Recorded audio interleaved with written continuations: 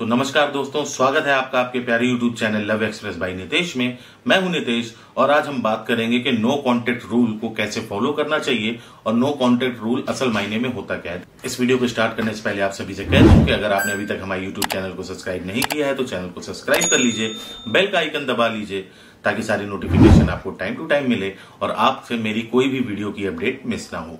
तो चलिए स्टार्ट करते हैं इस वीडियो को। देखिए कई बार ऐसी सिचुएशन रिलेशनशिप में रहते रहते आती है कि हमें नो कांटेक्ट रूल की तरफ़ जाना पड़ता है, इसको अप्लाई करना पड़ता है। लेकिन नो कांटेक्ट रूल असल में होता क्या है और इसे कब अप्लाई करते हैं? तो ये मैं आपको बताता चलूँ कि नो कांटेक्ट रूल उसे कहते हैं जब आप सेपरेशन के दौर पे जाते हैं आपका कोई मनमुटाव हुआ होता है, या रिसेंटली में ब्रेकअप हुआ होता है, या कुछ समय से आप एक दूसरे से दूर रह रहे होते हैं तो आपको नो कांटेक्ट का मतलब होता है कि आप दोनों के बीच कोई भी कांटेक्ट नहीं है। कई बार ये नो कांटेक्ट सामने वाले की वजह से होता है कि उसे आपसे कोई बात नहीं करनी, उसे आपसे कोई दिक्कत है, परेशानी है प्रॉब्लम है, उसने आपको ब्लॉक कर रखा है, वो आपसे ना मिल रहा है, या ना मिल रही है। कई बार ऐसा होता है कि ये सर्टेन एक्शन आपकी तरफ़ से लिए गए होते हैं। उनके भी कुछ कॉजेज होते हैं, वो मैं आगे डिस्कस वीडियो में कर लूँगा। तो जब आप नो कांटेक्ट के दौरान रहते हैं तो आपको क्या करना चाहिए और क्या नहीं करना चाहिए? देखिए, लोगों को लगता है कि नो कांटेक्ट का मतलब होता है सामने नहीं जाना है, मिलना नहीं है, दिखना नहीं है, लेकिन हम उसको फॉलो करते रहेंगे। लाइक हम उसके स्टेटस देखते रहेंगे व्हाट्सएप पे। व्हाट्सएप पे उसकी चैट किसी दूसरे मित्र के माध्यम से करवा के उसको देखते रहेंगे कि उसके क्या विचार हैं, वो क्या सोच रही है, क्या सोच रहा है। और आप इस तरह के काम करने की कोशिश करते हैं। लेकिन मैं आपको बताता चलूँ कि आप अगर इस तरह का काम नो कॉन्टेक्ट रूल पे कर रहे हैं तो आपको बिल्कुल नहीं करना चाहिए, क्योंकि इस तरह के काम करके आपका नो कॉन्टेक्ट रूल बिल्कुल भी कंप्लीशन के दौर पे नहीं जाएगा। उसे कंप्लीट करने के लिए आपको नो कांटेक्ट रूल इस तरह फॉलो करना है कि ना तो आपको उसे फेसबुक व्हाट्सएप या कोई स्टेटस उसका नहीं देखना है। आपको उससे बिल्कुल अलग हो जाना है, दूरी बना के रख लेनी है। क्योंकि जब आप नो कांटेक्ट रूल पे होते हैं तो आपको नो कांटेक्ट रूल सामने वाले को वापस लाने से पहले अपने आप को ट्रांसफॉर्म करने के लिए होता है। अब लोग पूछेंगे कि ट्रांसफॉर्मेशन क्या होता है। देखिए, आपको किसी ने ब्लॉक कर रखा है। वो आपको चाहते ही नहीं कि आप उसकी ज़िंदगी में आओ। क्यों? क्योंकि वो आपके रवैये से, आपके तौर तरीके से, आपके सर्टेन एक्शन से परेशान हो चुका है। अब वो चाहता है कि आपके साथ वो किसी भी कांटेक्ट में ना रहे। लेकिन आप चाहते हो उसके साथ कांटेक्ट पे रहने का तो उससे कांटेक्ट बनाने के लिए आपको अपने अंदर ट्रांसफॉर्मेशन करना ही पड़ेगा। ट्रांसफॉर्मेशन का मतलब होता है कि पहले आप जिस तरह के कपड़े पहनते थे, उनमें चेंजेस लाइए, अपने लुक्स में हेयर स्टाइल पे चेंजेस लाइए, अपनी एक्टिविटीज़ में चेंज लाइए, ताकि आप अपने आप को, सामने वाले को तो आप वापस लाना चाहते हो, वो ठीक है, लेकिन अपने आप को आप एक बदलाव, अपने अंदर एक बदलाव लाके आइए, ताकि सामने वाले को जब आप मिले और वो आपको देखे तो उसे भी लगे कि आपके अंदर अब डिजास्टर चेंज हो गया है। और आपके अंदर अब वो चीज़ें नहीं रही, जिनके कारण उसने आपको ब्लॉक किया था, या आपसे दूरियाँ बनाई थी। तो देखिए ट्रांसफॉर्मेशन ज़रूरी है ताकि आप अपने आप को बेहतर बना सकें। ना कि सामने वाले को जल्दी से अपने पास बुला सकें। वो तो देखिए, आप नो कॉन्टेक्ट रूल पे हैं। आप उसको ना दिख रहे हैं, ना मिल रहे हैं, ना गरज रख रहे हैं। तो वो आपसे अट्रैक्ट तो हो गई। इसी को लॉ ऑफ़ अट्रैक्शन कहते हैं कि जो चीज़ें आसानी से नहीं मिलती, लोग उसी के पीछे भागते हैं। लेकिन अगर आपको लगता है कि आप उसको कहीं ना कहीं से देखते रहेंगे एक्टिविटीज़ पे नज़र रखे रहेंगे, लोग तो ये भी सोच लेते हैं कि सर कहीं हमने उसको अकेला छोड़ दिया तो कहीं वो दूसरे के साथ ना सेट हो जाए। सर वो दूसरे के साथ इन्वॉल्व ना हो जाए। सर वो दूसरे के साथ एंगेज ना हो जाए। सर हमारा रिलेशनशिप ही ना खत्म हो जाए। खत्म हो रहा था या वो नो कॉन्टेक्ट पे था तो क्या आपने रोक लिया?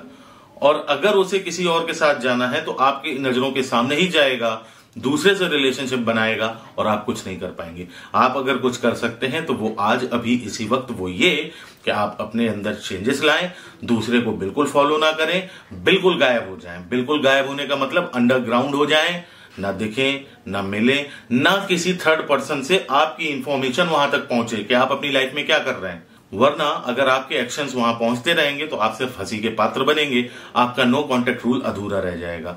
तो आप जब भी नो कांटेक्ट रूल अपनाएँ तो उस नो कांटेक्ट रूल के दौरान आपको कभी भी, कहीं भी, किसी भी प्रकार से ना देखना है, ना मिलना है, ना ही कोई कांटेक्ट होना चाहिए। और जब आप ये काम कर रहे हो तो अपने अंदर डिजास्टर चेंजेस आपको लाने की ज़रूरत है, अपने आप को ट्रांसफॉर्म करने की ज़रूरत है। अपनी लैंग्वेज में जैसे अब लोग पूछते हैं कि हम क्या कर सकते हैं।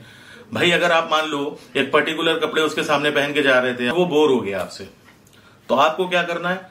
अब अपने कपड़ों में चेंजेस लाने हैं। अपने हेयर स्टाइल पे चेंजेस लाना है। अपनी लैंग्वेज भाषा। आपको ये दिखाना है कि आप वो हो ही नहीं जो आप पहले हुआ करते थे। और जब आपके अंदर ये यूनिकनेस आ जाएगी, जब आपके अंदर ये चेंजेस आ जाएँगे तो सामने वाले को थर्ड पर्सन से कहीं ना कहीं से तो पता चल ही जाएगा। कि अब आप उसको लेके इतने केयरफुल नहीं हो। अब आप उसकी ज़िंदगी में हो या नहीं हो, या वो आपकी ज़िंदगी में है नहीं है, आपको फ़र्क नहीं पड़ता। जिस दिन आपको फ़र्क पड़ना बंद हो जाएगा, उस दिन सामने वाले को फ़र्क पड़ने लगेगा। लेकिन जब तक आपको फ़र्क पड़ता है, सामने वाले को फ़र्क नहीं पड़ेगा। इस कॉन्सेप्ट को समझिए। मैं आपकी लाइफ में हमेशा एक वैल्यू ऐड करने की कोशिश करता हूँ, ताकि आपकी सेल्फ रिस्पेक्ट की धज्जियाँ ना उड़े। आप ना गिड़गिड़ाओ ना आप किसी के पैरों पे जाओ, ना अपनी सेल्फ रिस्पेक्ट की धज्जियाँ उड़वाते हुए अपने आप में एक शर्म, एक कुंठा का अनुभव करो। तो बिना इन सब कामों को किए हुए भी आप अपने कामों को कर सकते हैं बट उसके लिए थोड़ा सा डेडिकेशन चाहिए होता है। और जिस दिन आपके अंदर ये डेडिकेशन आ गया, उस दिन आपको आपके पार्टनर से मिलने से और आपके पार्टनर को आपकी लाइफ में आने से कोई नहीं रोक सकता। बट इसके लिए थोड़ा सा संयम की ज़रूरत है थोड़ा सा आत्मविश्वास की ज़रूरत है और इन सब कामों को करते हुए आप अपनी उस सफलता के आयाम को पाएँगे जो आप चाहते थे। तो मैं आपको इस बात को और क्लियर करता चलूँ कि जब भी आप नो कांटेक्ट रूल के सिचुएशन पे हो तो आप किसी थर्ड पर्सन के माध्यम से उसके बारे में कुछ ना जानिए और कोशिश करिए कि आपकी बातें भी वहाँ तक ना पहुँचे। और आप अपने ऊपर काम करते रहें वर्क करते रहें और अपने आप में एक बदलाव लाएँ। ये होता है नो कॉन्टेक्ट रूल का असली मतलब और नो कॉन्टेक्ट रूल को फॉलो करते समय क्या क्या बातें हैं जिनका आपको ध्यान रखना चाहिए। तो उम्मीद करता हूँ जब आप इन बातों को ध्यान रखेंगे, अपनी उन बातों को पूरा कर पाएँगे जिनके कारण आपने इस सिचुएशन को अपनाया है। देखिए नो कांटेक्ट रूल में किसी को बहुत ज़्यादा खुशी तो होती नहीं है। मैं इस बात को जानता भी हूँ और मैं आपको क्लियर भी कर दूँ कि नो कांटेक्ट रूल के दौरान आपको बहुत ज़्यादा खुशी नहीं होती, क्योंकि ये एक ऐसी सिचुएशन होती है जिसमें आप अपने टूटे हुए, बिगड़े हुए रिश्ते को रिलेशनशिप को, संबंधों को फिर से बिल्ड करने के लिए एक वो प्रयास करते हैं जो बिल्कुल दिल से अच्छा नहीं लगता, बिल्कुल। किसी से सेपरेट होके या जिससे आपको दिन रात मिलना हो या बातें हो, उससे दूरी बना लेने से किसको खुशी मिलने वाली है? तो ये खुशियाँ नहीं मिलती, लेकिन हाँ ये काम किए जाते हैं कि जो खुशियाँ नहीं मिल रही हैं, उन खुशियों को पाने के लिए। तो उन खुशियों को आपको अगर पाना है तो कहते हैं ना कि अगर चोट लगी है और मर्ज सही करना है तो दवा लेनी पड़ेगी और दवा कड़वी होती है। तो ये वही कड़वी दवाई है, जिसके घूट आपको पीने होंगे, और जब आप इन घूटों को पिएँगे तो डेफिनेटली ये दवा असर करेगी। आपका पार्टनर जो आपसे दूर है सेपरेट है नो कांटेक्ट पे है, वो जल्दी ही आपसे कांटेक्ट करेगा। बस आपको इन सारे नियमों को सख्ती से अपने ऊपर अप्लाई करना है। अगर आप बार बार किसी को चेस करते रहेंगे ट्रेस करते रहेंगे और कहीं ना कहीं से उसके बारे में खोज खबर रखते रहेंगे तो डेफिनेटली आपको सफलता नहीं मिलेगी या फिर बहुत देर से मिलेगी, जब वाकई देर हो जाएगी। तो वो देर हो इससे पहले आप सही तरीके से नो कॉन्टेक्ट रूल को फॉलो कर लें और अपने उन प्रयासों में जल्द ही सफलता हासिल करें जिनके लिए आप नो कॉन्टेक्ट रूल का इस्तेमाल कर रहे हैं। तो चलिए मिलेंगे अगली वीडियो में। उम्मीद करूँगा मेरी इन बातों ने आपकी लाइफ में कुछ वैल्यू ऐड किया होगा, आपको सही तरीका पता चला होगा कि वाकई नो कॉन्टेक्ट रूल क्यों अपनाते हैं और इसको करते वक्त क्या क्या चीज़ें हैं जिनको ध्यान में रखना चाहिए। मिलेंगे आपसे अगली वीडियो में और अगर आपके पास भी हो कोई सवाल तो आप कमेंट बॉक्स में उससे पूछ सकते हैं। मैं कोशिश करूँगा उस टॉपिक पे वीडियो बनाने की। अपना प्यार दिखाया करिए लाइक करिए कमेंट करिए शेयर करिए। मिलेंगे अगली वीडियो में, तब तक के लिए नमस्कार, जय हिंद।